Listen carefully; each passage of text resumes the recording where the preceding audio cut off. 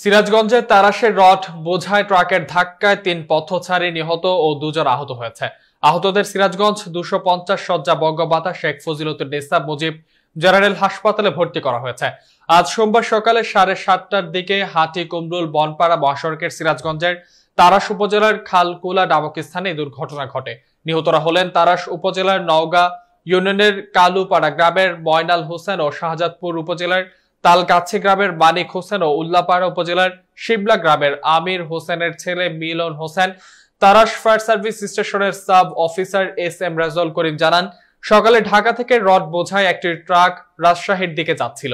ট্রাকটি হাটিকুমরুল, বনপাড়া মহাসড়কের সিরাজগঞ্জের তারাস উপজেলার খালকুলা নামক স্থানে পৌঁছলে চালক নিয়ন্ত্রণ হারিয়ে রাস্তার পাশে উঠে যায়। এতে ঘটনাস্থলে দুই পথচারী ও হাসপাতালে নেওয়ার পথে আরও একজনের মৃত্যু হয়।